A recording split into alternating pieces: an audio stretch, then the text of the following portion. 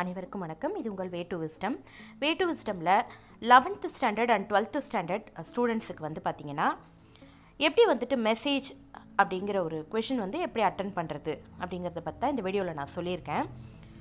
இந்த கொஷின் வந்து பார்த்தீங்கன்னா thirty seven thirty eight thirty nine and forty இந்த நாலு கொஷினில் எந்த இடத்துல வேணும்னாலும் உங்களுக்கு வந்து இந்த கொஷின் வந்து கேட்கலாம். இதுக்கு என்ன கீவேர்டு அப்படின்னு கேட்டிங்கன்னா மெசேஜ் அப்படிங்கிற வேர்டை வந்து நீங்கள் பார்த்தீங்கன்னா அது அந்த கொஷனுக்கு நீங்கள் இப்போ நான் சொல்ல போகிற ஃபார்மேட்டில் ஆன்சர் வந்து எழுதலாம். ஃபார் எக்ஸாம்பிள் வந்து பார்த்தீங்கன்னா மெசேஜ் அப்படிங்கிறது ஒன்றும் இல்லை.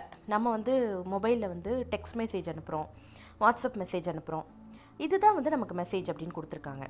ரொம்ப ரொம்ப சிம்பிளான கொஷின்ஸ் இதுக்கு வந்து மூணு மார்க் வந்து ஃபுல்லாக வந்து உங்களுக்கு எடுக்கிறதுக்கான வாய்ப்புகள் வந்து அதிகம். இந்த கொஷனுக்கு பார்த்தீங்கன்னா நீங்கள் வந்து ஃபஸ்ட்டு வந்து notice message describe the process email எது எழுதுனீங்கனாலுமே ஒரு பாக்ஸ் வந்து நீங்கள் போட்டு தான் ஆகணும். போட்டுட்டு அதுக்கான டாப்பிக்கை இப்போ மெசேஜ்னால் மெசேஜ் அப்படிங்கிறத நீங்கள் மேலே எழுதணும். ஃபுல் கேப்ஸில் நீங்கள் எழுதணும்.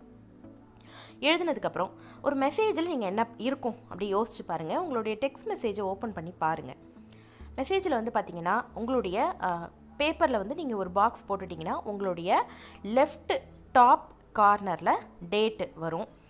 அதே வந்து ரைட் கார்னரில் வந்து பார்த்திங்கன்னா நீங்கள் வந்து டைம் போட்டுக்கலாம். ஸோ டைம் இருக்கலாம். அதுக்கு கீழே வந்து உங்களுடைய மெசேஜ் வந்து நீங்கள் ஸ்டார்ட் பண்ணுவீங்க. எப்படி நீங்கள் ஸ்டார்ட் பண்ணுவீங்க? ஹாய் அப்படின்னு ஆரம்பிக்கலாம். டியர் அப்படின்னு ஆரம்பிக்கலாம். யாருக்கு நீங்கள் மெசேஜ் அனுப்ப போகிறீங்களோ அவங்களுடைய பேர் அந்த இடத்துல நீங்கள் போடணும் பக்கத்தில். அந்த ஹாய்க்கு பக்கத்தில் அந்த டியருக்கு பக்கத்தில். ஒரு ஸ்பேஸ் விட்டு அதாவது ஒரு லைன் நீங்கள் விட்டுட்டு அடுத்த லைனில் அந்த பாடிக்கான டெக்ஸ்ட்டை என்ன மெசேஜ் கன்வே பண்ணுமோ அதை. அப்படி இல்லைனா அடிஷ்னல் இன்ஃபர்மேஷன் ஏதாவது கொடுக்கணுன்னா அதை. ஃபார் எக்ஸாம்பிள் வந்து டுமாரோ மார்னிங் வந்துட்டு நம்ம ஸ்கூலில் வந்துட்டு ஒரு கேம்ப் அப்படிங்கன்னா அந்த இன்ஃபர்மேஷனை எப்படி நம்ம வந்து அந்த மெசேஜில் அவங்களுக்கு கன்வே பண்ணுவோம் அப்படிங்கிறத நம்ம சிம்பிளாக கொடுத்தா போதும். யார் அப்படிங்கிறத நீங்கள் யார் அப்படிங்கிறத கடைசியாக வந்து உங்களுடைய பேரை நீங்கள் போட்டால் போதும். இதில் டைம் இருக்கணும் டேட் இருக்கணும். டியர் அப்படிங்கிற அந்த சால்டேஷன் வந்துட்டு இருக்கணும். யார் வந்து நீங்கள் அங்கே வந்து நீங்கள் மென்ஷன் பண்ணுறீங்களோ receiver of the message sender of the message நீங்கள் தான். ரிசீவர் ஆஃப் த மெசேஜ் வந்து மோஸ்ட்லி உங்களுக்கு கொஷனில் வந்து பேர் கொடுத்துருப்பாங்க.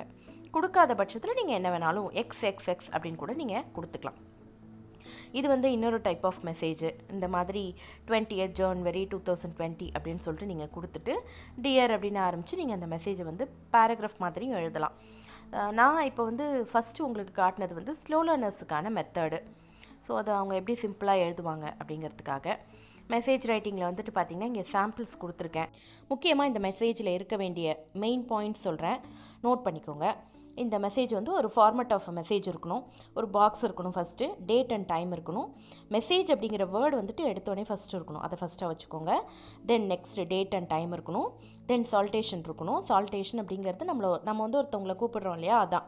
ஹாய்னு கூப்பிட்றது டியர்னு கூப்பிட்றது இதெல்லாம் தான் வந்து நம்ம சால்டேஷன் அப்படின்னு சொல்கிறோம் அடுத்து ஒரு பிளாங்க் லைன் விட்டு நீங்கள் கொடுக்க வேண்டிய மெசேஜை பாயிண்ட்ஸாக கூட நீங்கள் அதில் போடலாம். Then sender of the message அது நீங்கள் தான். சரியா ரைட்டிங் பர்சன் மேபி கொஷனில் வந்து பார்த்தீங்கன்னா கொஷின் பேப்பரில் ஏதாவது ஒரு பேர் கொடுத்துருந்தா அந்த பேரையே நீங்கள் வந்து என்ன பண்ணணும்? இந்த நீங்கள் எழுதக்கூடிய ஆன்சரில் வந்துட்டு மென்ஷன் பண்ணிக்கலாம். ரொம்ப ரொம்ப ஈஸியாக மார்க் எடுக்கக்கூடிய கொஷின் இது. ஸோ இதில் ஏதாவது டவுட் இருந்தால் என்கிட்ட கேளுங்க. All the very best for your examination thank you